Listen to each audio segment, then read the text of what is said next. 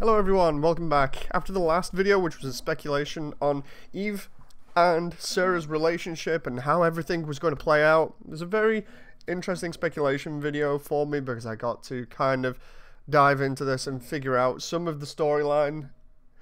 Sure enough, I've bits of that have been proven to be right, so let's go over this. This is episode 20 of Build Divers Re-Rise, and this is this is emotional and uh, it has me both happy and worried so, so far, Build Divers Re-Rise has been a show that I've really enjoyed because of the way they changed things up from normal Build Divers.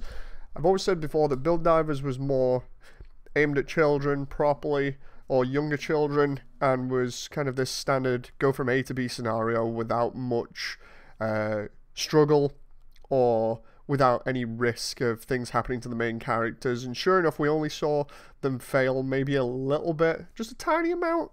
But uh, it wasn't like the other build series where you'd have more weight to battles, where suits would get completely destroyed when people failed and they'd have to rebuild them and things like that. Um, with Re-Rise, it's been a very, very nice change in that it's had a more mature storyline. It's featured such things as depression, as grieving, stuff that you uh, you wouldn't get in a younger kids show. So, I like it from that aspect. It's more aimed at sort of like teenagers, young adults, and I uh, I really like how they've done this so far, and we've got to this point in the show where it's become really emotional, and yeah, it's it's definitely what I expected so far and what I speculated on. We get to see Eve, who looks like she was actually the uh, the first ELDiver. She's been keeping all the bugs from the the break decals in check up to this point, and uh, as a result of Riku and Build Divers and the coalition's maneuver to uh, get rid of break decals and get rid of Tsukasa from the server in the first half of Build Divers, what's happened is uh, the Wings of Light projected by the Double O Diver, or the Double O Sky, I can't remember which one it was. Uh, the Wings of Light have got rid of all of the errors there, but as a result, the uh, the remaining errors have all kind of gone into Eve and pushed her over the edge when she was taking care of stuff, and uh, as a result, what's ended up happening is that Eve has just just had enough. She can't take any more and needs to be erased before the bugs get out and wreck everything again. So, using uh, herself as kind of a controller for the core Gundam, she gets Hiroto's core Gundam to shoot and erase herself and uh, I feel sorry for Hiroto in that moment, primarily because he's confused. He doesn't know properly what's going on. The only friend that he's had on GBN that really seems to kind of enjoy it with him and make it fun for him has just died right in front of him. He's in a state of stress, confusion, grieving, and anger at the same time. And as a result of this happening, this is why we see Hiroto in the show being detached from everybody else, feeling distant and feeling uh, a little bit lonely because he's depressed. He is extremely depressed by this point. And over the course of the show and him working with the new build divers, we get to see him opening up again. And eventually, this is where we get to this point in the story where he's opening up to everybody and uh, is starting to lose it in terms of uh, his composure. Not his mental state, just his composure and uh, he breaks down in front of everybody and tells them this story about how Eve was under so much strain, she was then erased, and then when Avalon did the second coalition fight, he could have taken out Riku at the very end when Riku was on like really low health. He could have sniped him with the uh, the Uranus beam sniper, but the problem is if he'd have done that, he would have stopped uh, Sarah from being saved, and Eve or Eve's last wish was to help save Sarah and to make sure that nothing like this ever happened again. So, in that moment where Hiroto sees the uh, the suit piloted by Riku again, he's really angry. He blames them because if it wasn't for them, then it's possible that you know, Eve could have been saved or that all this would have been fine. If it wasn't for break decals, then uh, Eve wouldn't have had loads of bugs in her system. There's a lot of feelings going through him at that point, but he blames Riku mainly because he saw the wings of light, and the backlash from that was Eve dying. And in that moment, when he's gonna take the shot, he is so angry, you can tell. But then there's some conflict there in that he's he knows that Riku is there to save Sarah. So he ends up being really frustrated and not taking the shot and then questioning what he's doing and uh, being really upset, of course. And that results in Sarah being saved and getting taken out of GBN. And if they'd have only been able to do that to Eve, then maybe everything would have been better and Hiroto wouldn't be in this terrible, terrible state that he's in at the moment. Like, you gotta feel sorry for the guy. He's in so much pain. And uh, for those who can kind of relate to his his state, yeah, he's he's really hurting. So you'll understand it. And uh, this is the point where he really breaks down in front of everybody, and May comes over and uh, has to comfort him. And Mei's the linking point between everything because if it wasn't for Hiroto and Eve and them saving Sarah, or Bill Di- the original Build Divers saving Sarah and with Hiroto and Eve taking that early step to save the system from being overwhelmed, then none of the other Eldivers would have been born, and May wouldn't have been able to really experience life and fight for Eldora and, and really enjoy herself from what she seems anyway, from the, the little emotion that she shows. So May and Hiroto are connected in a really nice way that I like. And as I speculated before, uh, the show as we know, is a spin off or a side story to Build Divers, so we knew it was going to be connected in some way. I speculated the last time that Build Divers would be held up a little bit better if they were connected between uh, what happened with Eve and Sarah and just how it explained it.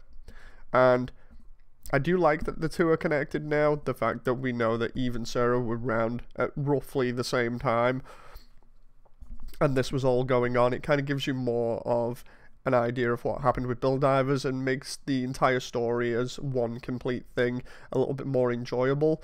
But there was some concerns from people the last time uh, in the video, in the comments, saying, you know, like, th- oh, this will just make uh, Re-Rise terrible because it's linked in with Build Divers, and we didn't really like Build Divers that much. I honestly don't think this takes away from Re-Rise. If anything, it adds to it because we get the overall context for everything. I uh, and I even though it does add a little bit more to build divers to prop it up and make it a little bit more enjoyable it doesn't take away from what was negative about that show. It only i think it only adds to re-rise in terms of it gives us full perspective on everything that's happened and has led up to this point. The the main things that i'm concerned about now or the main thing that i'm concerned about now is going forwards uh, we've had a lot of recycled footage in this episode, and I hope that that's a sign that they were using the budget elsewhere for giant fight scenes, or at least really well animated fight scenes. I'm hoping that's where the budget has gone.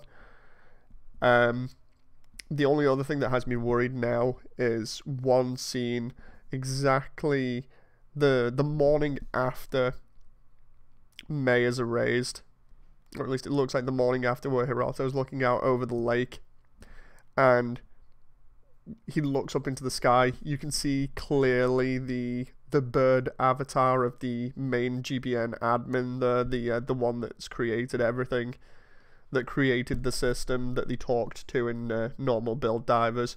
You get to see her flying around, and I hope that that isn't a sign that Eve will come back in some way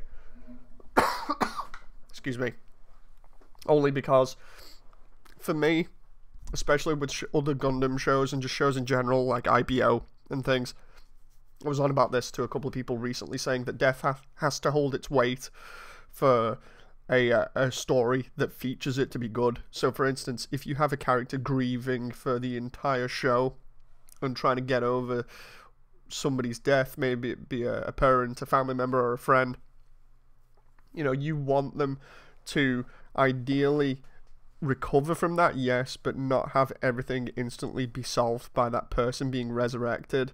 This is why uh, people sometimes have problems with stories like uh, Gundam Seed, where characters will die off and then seemingly come back, even if they've survived something which has been described as, say, a nuke to the face or whatever.